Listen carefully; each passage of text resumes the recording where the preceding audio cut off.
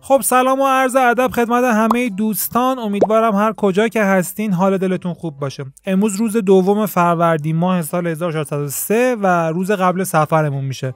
صبح زود رفتم تو پارکینگ یه سری از کارهای اولیه ماشین مثل تعویز روغن فیلتر روغن ولا پاک کردن فیلتر هوا و گریسکاری یه قسمتی از خودرو چون خودرو من قدیمی جایش گریسکاری داره. من معمولا کارهای اینچنینی خودرو رو خودم انجام میدم. از اونجایی که روغن قلابی تو بازار زیاده و از اون برم نمی‌دونم چرا اینقدر تعویض روغنی ها اجرت بالایی واسه یه روغن عوض کردن ساده می‌گیرن. دیگه معمولا خودم دست به کار میشم. صبح خود رو با یه سری کارهای فنی شروع کردیم و بعد بریم سراغ چیدمان تجهیزات و لوازم سفر. خب یکی از مسائلی که من هر سال میرم سراغش رو چکش می‌کنم جعبه کمک های اولیه است. معمولا میرم ببینم چه قرص های انقضاشون گذشته و با قرص های جدید جایگزین می‌کنم. قبل از اینکه برم سراغ قرص ها اینو بهتون بگم که خیلی مواظب سلامتیتون باشین. این دفعه من یه چیزی هلوش شاید بگم مثلا 10 15 تا ورق قرص رو رفتم حالا انقضاشون تموم شده بود و رفتم خریدم جمعشون شد یه چیزی هلوش یک میلیون تومن چیزی که من هر ساله 200 تومن 300 تومن بهش حدودا پول می‌دادم و این نشون دهنده اینه که تو کشورمون چقدر دارو گرون شده. قدر سلامتیتون رو بدون بدونید واقعا و امیدوارم که هیچ وقت نیازمند دارو نباشید. خب قبل از اینکه باز برم سراغ داروها یه توضیح بدم که من واقعا به شخصه تو خیلی از سفرها شده که اصلا نیازی نبوده به سمت این جعبه کمک های اولیه برم و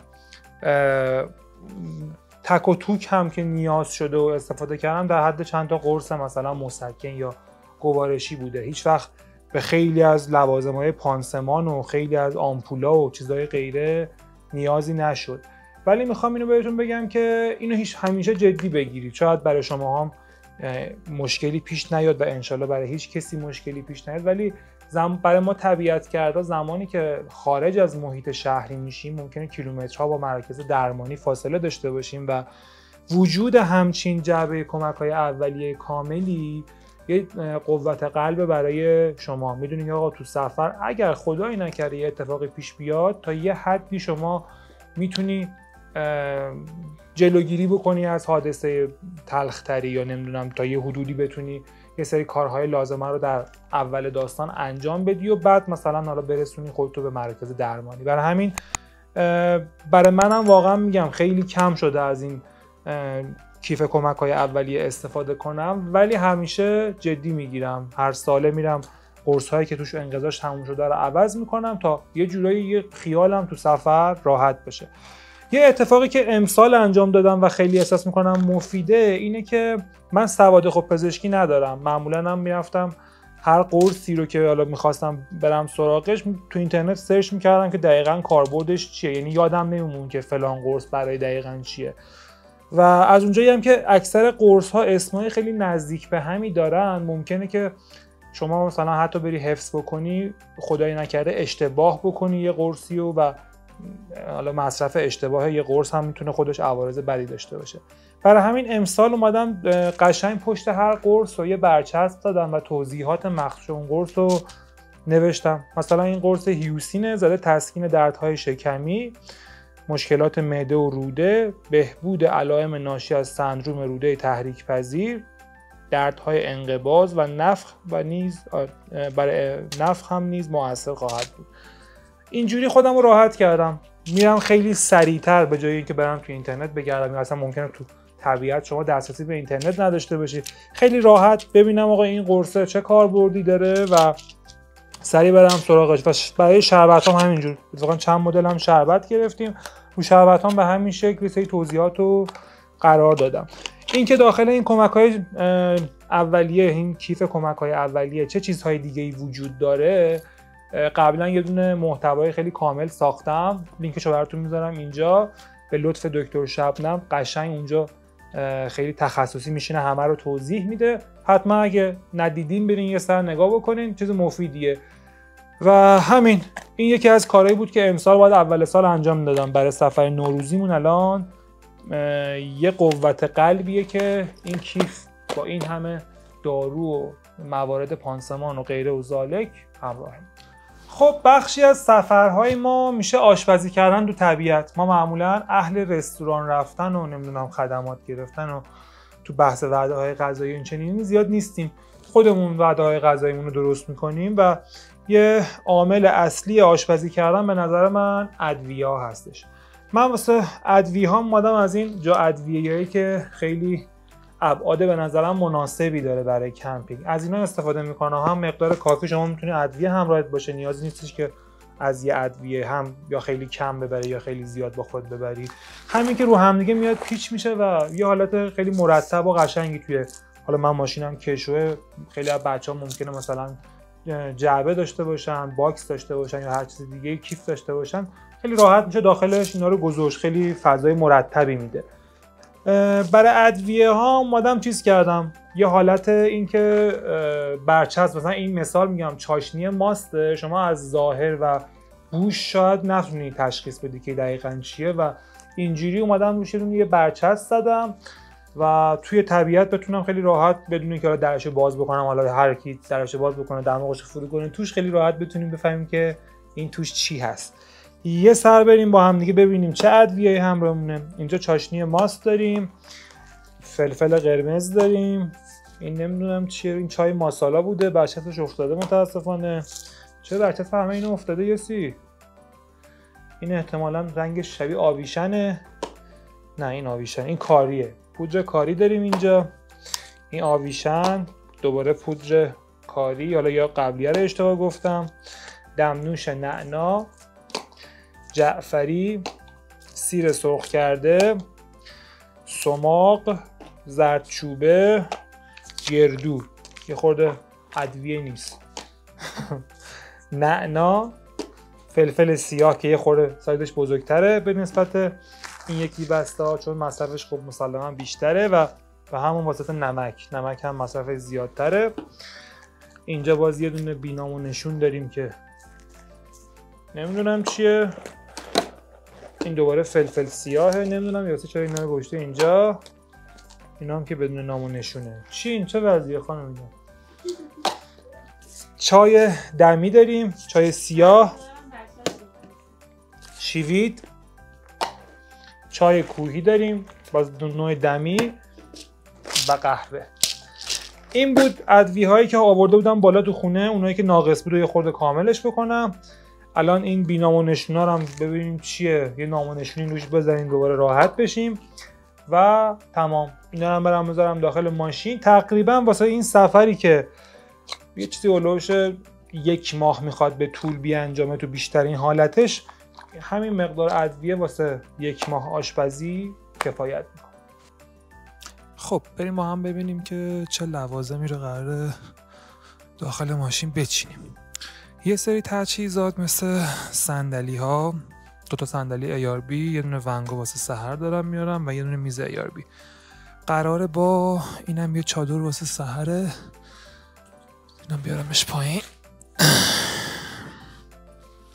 خب قرار اینها رو ببرم بذارم روی سقف داخل چادر این چادرهای شبیه سواگ کنارش هم سواگ بذارم تقریبا سقفمون پر میشه. تا جای ممکن باید روی سقف و لوازم سواک بذارم که ماشین لنبر نداشته باشه.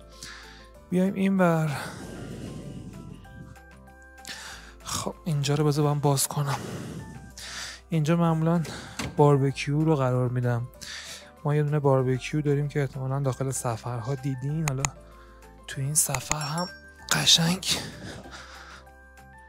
در موردش توضیح خواهم داد.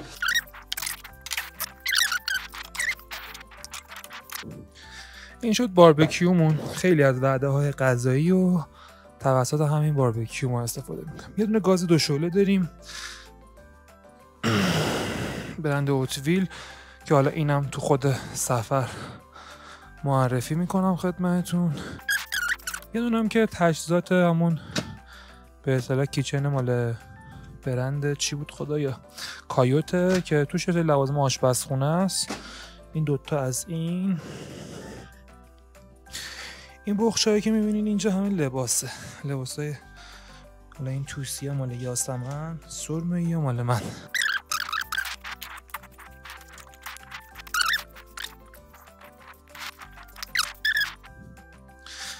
خب این سپایه دوربین فیلم برداریه حالا هنوز تجهیزات فیلم برداری رو نیبرم ولی خب چون طولش زیاده فقط اینجا جا میشه. کیف کمک های اولی هم که دیگه باهاش آشنا شدیم. مونده. توی این سفر بچه یه موتور برق 2000 هوندا داریم با خودمون می‌بریم.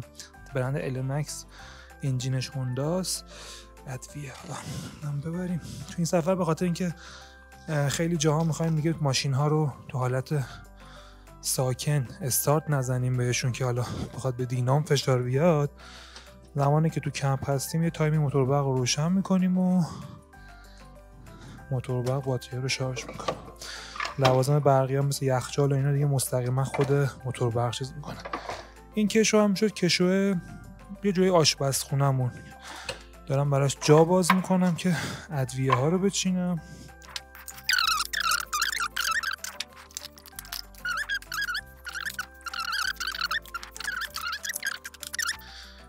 اینجا یه سری خورده لباس داریم. چاره ای نیست دیگه. متاسفانه سفر که طولانی میشه لباس هامون هم زیاد میشه و مجبوریم ببریم دیگه. چون حالا ممکنه آبتنی هم داشته باشیم بخشیش.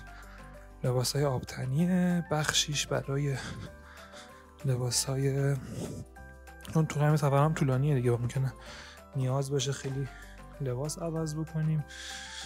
بزرگره بذارم. عقب.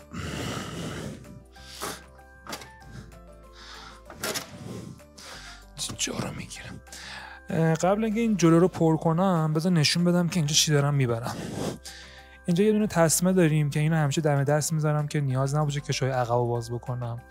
دو تا دونه پانچو یا همون بادگیر برای تایمی که یهو یه بادی بزنه مجبور باشیم بیرون باشیم یا بارون بزنه.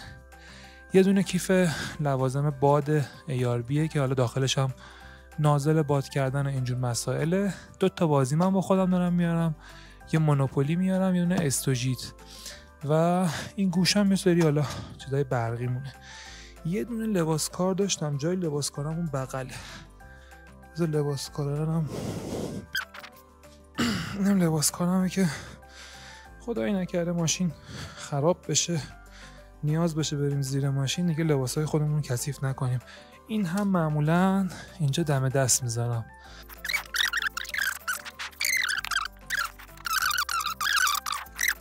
این کشو می‌دونین دیگه کشو جعبه ابزاره که همیشه آماده به کاره. این کشو هم. کشوی یه سری لوازم برقیه یه باتری میارم که تو خود سفر توضیح میدم برای چی دارم یه باتری کوچولو با خودم میارم و حالا ترشیجات و مربا و کنسرویجات و همه اینجور چیزایی که حالا به خاطر اینکه کنار یخچال بودین کشو در نظر گرفتیم برای چیز دو تا یخچال هم هست دیگه. یه دونه 5 لیتری یاربی یه دونه 30 لیتری کرونی بریم این پشتم بهتون نشون بدم. دو تا پمپ آبه. حالا براتون باز توضیح میدم این پمپ آبا چه کارایی داره. پمپ آب 12 ولت. یه دونه کنسرو کرفس از سفره قبل اینجا دست نخورده مونده. از این کنسرو های بزرگه چی داریم این و دو تا برنج 5 کیلویی گلستان هم که یکیش نصفه است یکیش پلمبه اینم از سفره قبل مونده. یه دونه میشه گفت کتری دیوار بغل سایبونه. اینجا یه دونه سینکه. یه دونه آبچکونه. برای ظرف شستن. دوباره اینجا پایه های باربکیو داریم. اینجا میشه از این توشک های نکو یه زیرانداز برای تایمی که حالا مثلا سوگو بخوایم رو زمین بزنیم و گلی باشه. یه دونه توشک بادی کچوا که نوع از تکاورکو گرفتیم. باید آنباکسش کنیم تو سفر. اینجا یه دونه چراغ لنسری داریم. زیرش یه دونه چادر حمام داریم و یه دونه از این چادر ARB های زیر سایبونی که اگر حالا چون چون بیس کمپ زیاد داریم تو این سفر تایمی که باد نباشه و شرایط آب و هوایی سیف باشه خب اون چادر بزرگتره و راحتتر به نسبت سواک. این ور چی داریم؟ یه سری نوشابه های دست نخورده از سفره قبلی. آها اینجا یه دونه مایه لباسشویی داریم. شاید بگین مایه لباسشویی به چه درد می‌خوره؟ به دلیل اینکه واقعا تو این سفر لباسشویی داریم. الان این لای نمی‌خوام بکشم بیرون ولی این لباسشویی تاشوه. کلگی دوش حمامه. یه سری روغناست که همه این از سفره قبل مونده. یه دونه بلوور توسنه که جنبه چیزم داره. اسمش چیه؟ جارو برقی هم داره. مکش داره یعنی میشه تمیز کرد. بخاری گازوئیلی درجا یه سری سوخت. این نفته مقصد بخاری گازوئیلیه. حتی باز نفت یه دیگه گذاشتم. چند تا روغن داریم برای روغن خودرو میشه عوض بکنیم. واسکازین و غیره و آب رادیاتور و باز دوباره روغن و اینجور مسائل. این کشو جزو کشوهای کم مصرف خواهد بود. یعنی مثلا اگه هوا سرد بشه بخاری و در میریم اینجور چیزا. این کشو خب بیشتر لوازم دم دستی هست بیشتر. چی داریم دیگه اینجا؟ این پنل هم جدیدن اضافه کردم بچه ها. تو این پنل ما اینجا میزان آب داخل ماشین رو نشون میده. هر کدوم از این چراغ ها نشونگر 20 لیتر آبه. یعنی میشه یک دو سه چهار پنج صد لیتر مجموع آب هامون این فشار میشه گفتش که پمپ آب داره نشون میده که الان نزدیک دو بارونیم فشار داره. گاز چون شیرش بسته است این فشار گاز رو نشون میده که ما الان گاز نداریم. این ستا باتری های خودرو رو نشون میده. ما توی زیر کاپوت موتور دو تا باتری داریم. دو تا باتری 100 آمپر میشه 200 آمپر که داره الان با 13 و دو شارژ میشه. دو تا باتری 100 آمپر عقب ماشین داریم. میشه 14 و دو اون دوتا هم داره الان با خودروی که تو برق شارژ میشه و یه دونه باتری UPS داریم پشت این پنل که این پنل سولارشه. پشت این یه باتری 100 آمپر UPS که این هم داره باز الان با برق داخل خونه شارژ میشه. پنلش هم که همون همیشه گفتش که قسمت جلوی خودرو دیگه اینجا میشه. این میشه پنل سولارمون. اینجا سه تا جعبه ابزار داریم که باز توی سفر مفصل توضیح میدم داخلش چیا هستش و این زیر نها کنه یه دونه شارژره که داره با 10 آمپر الان باتریا رو شارژ می‌کنه. کپسولم که گفتم پر کردم. موتور برقم که توی این سفر هست. یه تغییری هم که دادیم توی این سفر این قسمته ما اینجا خیلی از خروجی ها رو داریم. توی این دوتا مثبت و منفی که می‌بینیم قرمز و مشکیه برق 12 ولت رو داریم و حتی آمپر مصرفیمون هم اینجا نشون میده. مثلا بخاری درجا رو می‌تونم خیلی راحت به این دوتا وصل بکنم. دیگه نیازی نباشه از سر باتری بگیرم. یه برق 220 بعد از اینورتر اینجا داریم که باز آمپر هم نشون میده اینجا. و خروجی های آب گرم آب سرد باد گاز نمی‌دونم. گاز پرفشار یکی از گازها با گاز کوبلینگ مخصوصا حالا بخاری که مثلا کوبلینگ نیاز داشته باشه مثلا با اجاق گاز بخوای بزنی. یه سری بدون coupling فشار اصلی خود کپسوله. یه بادم هست که اینم باز داستانش رو بعدا جلوتر توضیح خواهم داد. که البته همه اینها هم میشه گفتش که فیوز داره. یعنی ما اینجا دو تا فیوز داریم. برای برق بعد inverter و قبل برق قبل inverter. یعنی حالا تو طبیعت میشه برق inverter برق موتور برقی که میاد به این دستگاه ها می‌رسه و اینجا می‌بینید دیگه. این میشه ورودی برق که از اینورتر میاد. یعنی دوباره اینجا یه سری خروجی آب و گاز داریم خروجی برق داریم و خروجی 12 ولت یه دماسنج هم اتفاقا اینجا داریم. واسه تایمی که حالا می‌خوایم ببینیم هوای بیرون چقدره که اگه منبع ها نیاز نباشه یخ بزنه باید یه مقدار آب گرم توش باز بشه. خب کشوارم این که گفتم چیه اینم گفتم چیه یه کشوی رو جا انداختم فکر کنم. کشوی بغل کشوی آشپزخونه. اینجا هم باز یه دونه کشوی دیگه داریم. که چیز چیزای گنده مثلا قابلمه ها آبکش. حالا مثلا برای لازانیا درست کردن ظرف اون. که ما معمولا توش ماهی هم سرخ می‌کنیم قهوه جوش و شیر جوش و اینجور مسائل. این هم توی کشوی دوم بود. حالا باز همچنان هم باید یخچالا رو پر بکنم هم الباقی لوازم و آخر سرم که فردا صبح میرم بیرون سقف و توی این برنامه موتور برق باید داخل ماشین مسبوط بذارم با یه سری چیزهای دیگه. خب می‌رسیم به پروسه یخچالی ها من تو ماشینم دو تا یخچال دارم و این میزان خریدی که برای 6 نفر تقریبا. و برای کل سفر دیگر رو در طول سفر چیزای یخچالی مونه. مجبورم که فکر می‌کنم جفتشون رو باید فریزری بکنم. یعنی جفتشون رو فریزر بکنم برای یخچال از یخچال بچه ها کمک بگیرم. اول این ایاربیه که حالا لیترش بیشتره رو واز می‌کنم. اینو پر می‌کنم. اگر جا نشد توی کرونیا میچینم. خب بریم سبدرم اول در بیارم که بیشتر فضا بهمون بده. فعلا سبدرم بذارم اینجا. با این کاری نداریم. خب از چیز شروع می‌کنم. ما الان اینجا سه تا برگر داریم. تو هر کدومشون چهار تاست. فکر می‌کنم برگر جز وعده هایی که بعضی از شبا شاید بخوریم. بشینمشون زیر فعلا. اینجا یه دونه از این چه گفتش که شبیه ناگت میمونه. هم ظرفش بدن به کارمونه که توضیح میدم تو صفحه برای کجا هم خودش. این هم میشه اینجوری یه وری اینجا گذاشت. خب.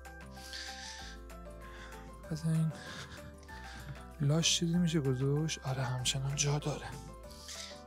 چی بذاریم؟ خب یه مقدار اینجا مرغ داریم.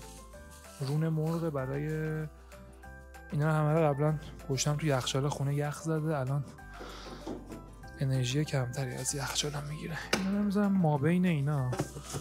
که باز از فضا تا چی داریم اینجا؟ یه سری ماهی کبابی داریم. مرینیت شده آماده است؟ فکر کنم دوازده تا ماهی باید باشه. برای دو بعد است نه. اینجا مشخصا جا نمیشه همش. خب باید بریم سراغ کرنیه ماهی چون سایزش بزرگه تو کف کرنیه راحت میشه چید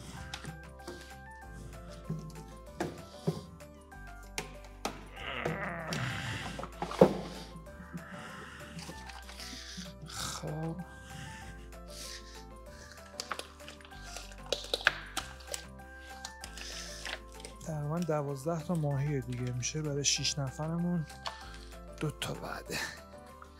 خود همین ماهی ها فکر کنم کل این یخچال اشغال کرد.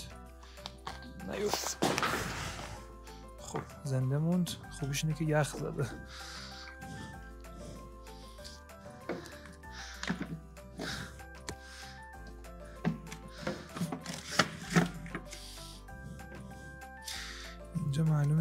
یکیش یه نمی هم داده. ولی دیگه چاره نیست دیگه.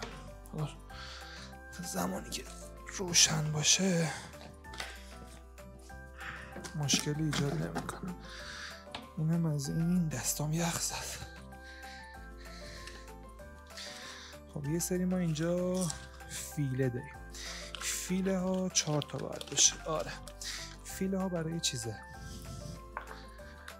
اون بالا یه ماهی جا گذاشتم.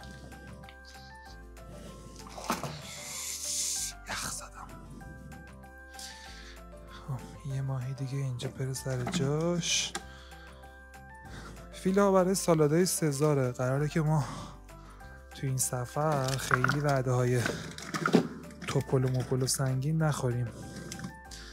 سالاد سزار مثلا با چند تا فیله مرغ جز شام های سبک باشه.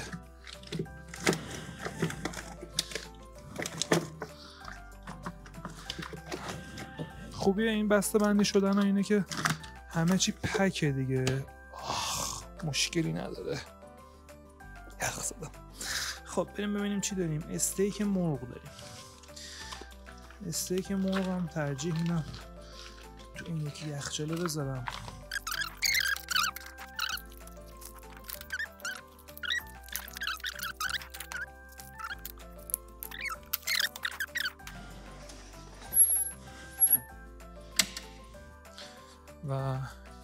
یخچالم تقریبا پر پشت. خب.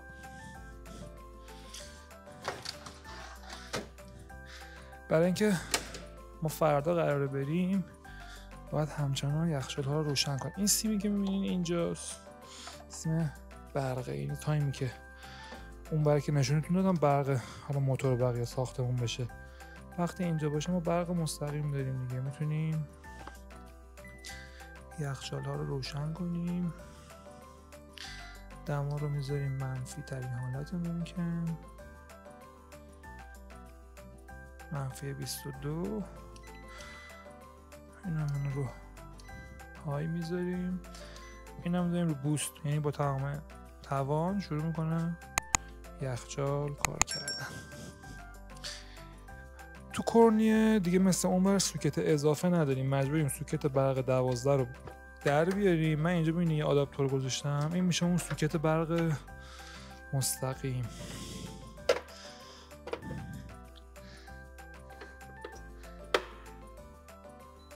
و این هم از برق این. حالا این دوتا تا فردا که ماشین تو برقه. داره قشنگ از برق شهری استفاده می‌کنه و حسابی چیزایی که داخل شهر خنک نگه میداره.